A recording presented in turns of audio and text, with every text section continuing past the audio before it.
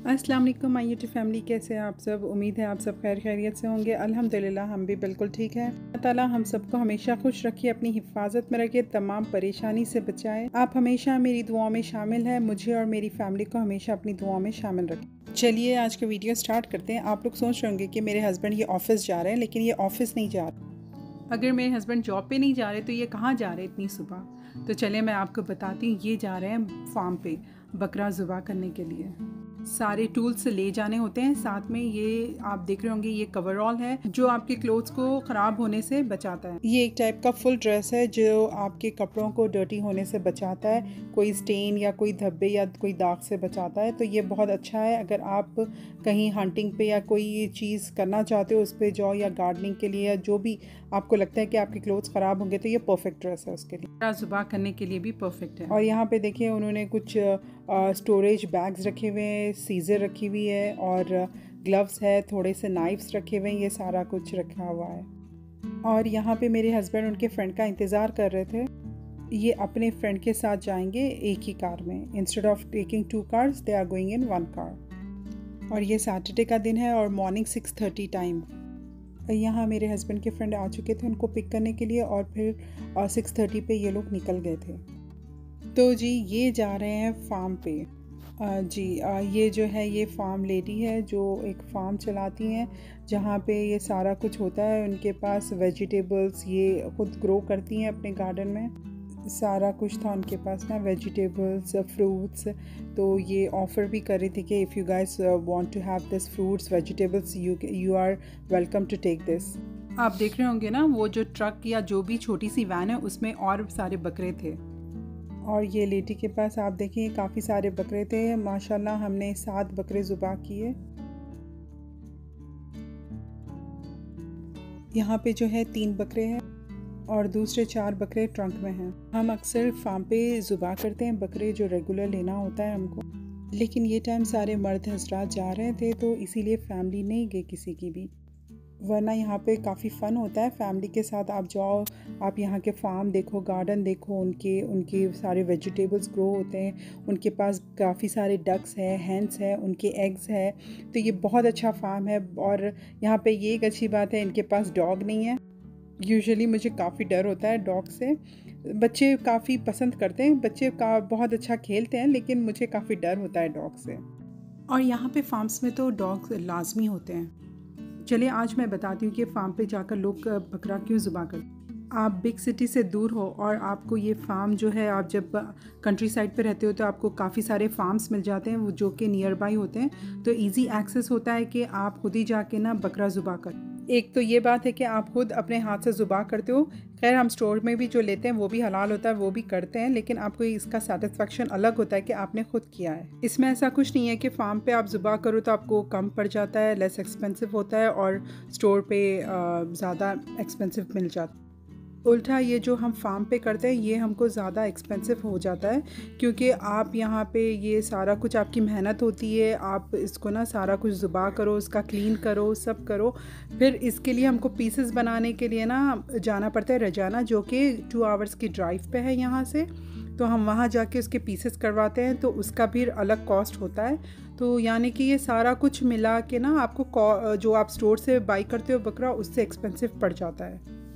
हम ईयर में दो या तीन बार चले जाते हैं। इसका जाने की वजह यह है कि ना, ये फार्म का जो एनवायरनमेंट होता है, वो बिल्कुल भी डिफरेंट होता है।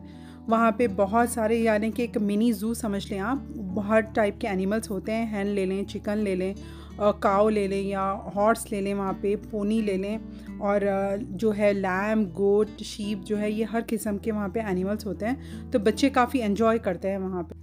और ये भी बड़ा अच्छा होता है कि आप वहाँ पे पाए भूल लो। एक नॉर्मल एक्टिविटी से आप बिल्कुल भी डिफरेंट एक्टिविटी में चले जा रहे हो तो ये अच्छा लगता है, क्योंकि ये वंस इन अ वाइल है, आप हमेशा नहीं करते हो तो अब बहुत अच्छा है ये।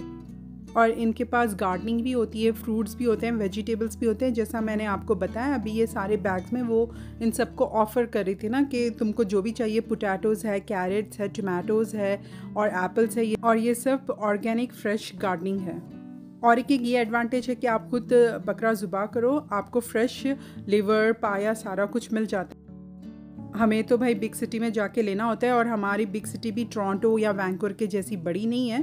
तो वहाँ पे जो भी मिलता है, हमको कभी अवेलेबल होता है या कभी नहीं होता है, लेकिन वहाँ पे फ्रेश भी नहीं रहता तो ये एक अच्छा सा एडवांटेज है, अगर आप खुद ज़बा करो। देखिए, मेरे हस्बैंड वापस आ गए थे, मुझे तो लग रहा है ये काफ़ी थके हुए और इनके जो बैग्स है काफ़ी हैवी लग रहे थे। ये थके हुए तो होंगे क्योंकि ये गए थे मॉर्निंग सिक्स थर्टी पे और आए शाम के पाँच बजे। और यहाँ पे देखिए ये फ्रेश स्कॉश जो है, ये आ गया। और बहुत सारे टमाटोज़ और पोटैटोज़ कैरेट्स बहुत सारी चीज़ें थे और इतने बैग हैवी इतने भर के थे बैग तो बहुत सारे मैं हस्बैंड को यही कहने लगी कि मैं क्या करूँ इतने सारे क्योंकि टमाटो ऑलरेडी मेरे गार्डन से है और पोटैटो भी मैंने अभी शॉपिंग आपको तो बताया था लास्ट वीक मैंने शॉपिंग की थी तो मैंने बड़ा सा फाइव के का बैग ला लिया था टोमेटोज़ पोटैटोज़ का तो वो भी मेरे पास था तो मैं हस्बैंड को यही कह रही थी। फिर मैंने सोचा, अभी हमारे पास यहाँ पे न्यू फैमिली मूव हुई है तो मैंने सोचा कि चलो मैं उनको थोड़ा सा उनके पास भेज दूँ। चले, कोई बात नहीं, मैं थोड़ा सा फ्रेंड्स में डिस्ट्रीब्यूट कर दूँगी।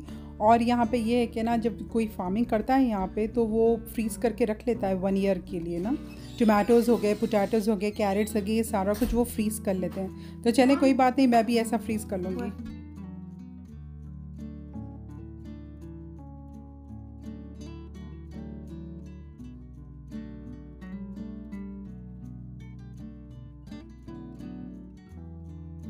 ये एप्पल तो बहुत डिलीशियस थे। मैंने जब का जब ही ट्राई किया था इनको, और ये जो कहते ना, मुलायम सॉफ्ट से, वैसे उस टाइप के एप्पल्स थे, बहुत अच्छे थे। और मैंने नेक्स्ट डे ना, बच्चों को, यानी मंडे जो है, बच्चों को मैंने ये एप्पल एज अ स्नैक भी पैक कर दिया था लंच के लिए।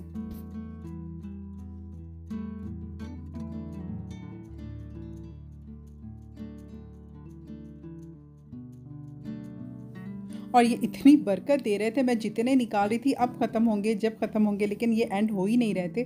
बहुत सारे थे, काफ़ी सारे, माशाल्लाह। मैंने अपने लिए ट्रे में निकाल के रख लिया था, बस मैं इतने ही लूँगी और दूसरे जो है, मैं मेरे फ्रेंड्स के पास ना भेज दूँगी।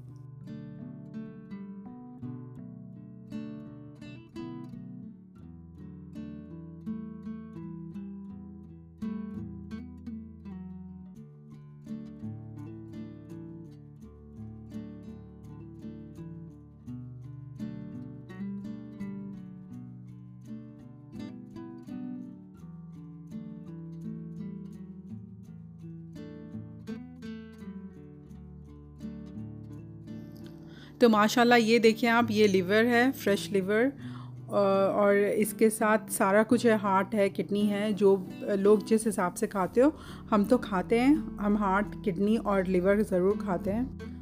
और देखिए, ये इतने सारे टमाटोज़ है, इतने सारे आलू है पोटैटोज़ है कैरेट्स है और आप ये एक अच्छी बात है कि पाए देखिए आप, वहाँ पे ये भी होता है फार्म पे ना, वो लोग जो पाए जो बर्न करते हैं ना, उनके पास वो भी अवेलेबल होता है तो वो हमको ऑफ़र करते हैं कि अगर तुम्हें ये चाहिए तो तुम कर सकते हो।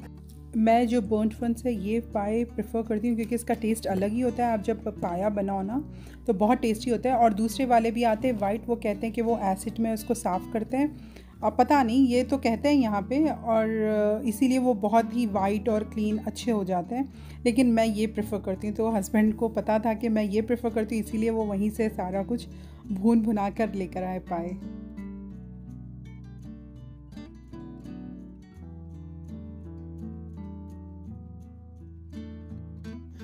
और यहाँ पे हस्बैंड काफ़ी थके हुए थे तो मैंने उनको कहा कि ना, पहले आप चाय पी लो। आप उनके फेस से ही लग रहा होगा कि वो काफ़ी थके हुए तो मैंने उनको कहा कि, पहले आप चाय पी लो और उसके बाद थोड़ा सा आराम कर लो। तो मैंने फिर उनको चाय बना के पहले चाय दे दी। और जो चाय पीता है, वो कहते हैं ना, वो फ्रेश हो जाता है। तो मैंने उनको चाय दे दी तो वो थोड़ा सा पी के ना रिलैक्स हो गए थे। काफ़ी टाइट थे मेरे हस्बैंड क्योंकि ज़ाहिर सी बात है, आपको ये प्रैक्टिस होती नहीं है और आप एकदम साथ बकरे ज़ुबा करें, उसको सारा कुछ क्लीन अप सब करना पड़ता है। मेरे हस्बैंड कह रहे थे, उनके साथ जो भी फ्रेंड्स थे ना, वो ज़्यादा उतने एक्टिव नहीं थे तो ज़्यादातर मेरे हस्बैंड ने ही किया तो ये काफ़ी थक गए थे। लेकिन अलहमदिल्ला फिर भी उन्होंने यहाँ पर भी मेरी हेल्प कर ये सारा कुछ उन्होंने कट करके दिया और फिर आ, मैं सोची कि ना फ़्रेश की बात अलग ही होती है। तो फ़्रेश इसको बना लूँ तो मैं यहाँ पे कुकर में बना रही थी। बस सारा कुछ मैंने मसाले सब कुछ डाल दिया और सिंपल सा डिलीशियस टेस्टी कलेजी का सालन रेडी हो गया। तो फ़्रेश की बात अलग होती है और आप जाके ख़ुद से इसको ना ज़ुबा करो स्लॉटर करो ये तो और ही अलग मज़ा रहता है। आज का वीडियो बस इतना ही था। अगर आपको मेरा वीडियो पसंद आता है तो प्लीज़ कमेंट के ज़रिए ज़रूर बताएँ और आपने अब तक चैनल सब्सक्राइब नहीं किया है तो सब्सक्राइब भी ज़रूर कर दें लाइक के साथ। इनशाला फिर मिलती हूँ एक नेक्स्ट वीडियो के साथ, एक नेक्स्ट व्लॉग में। तब तक के लिए टेक केयर अल्लाह हाफिज़। अपना बहुत सारा ख्याल रखें दुआ में याद रखें। Eat healthy stay healthy and enjoy the life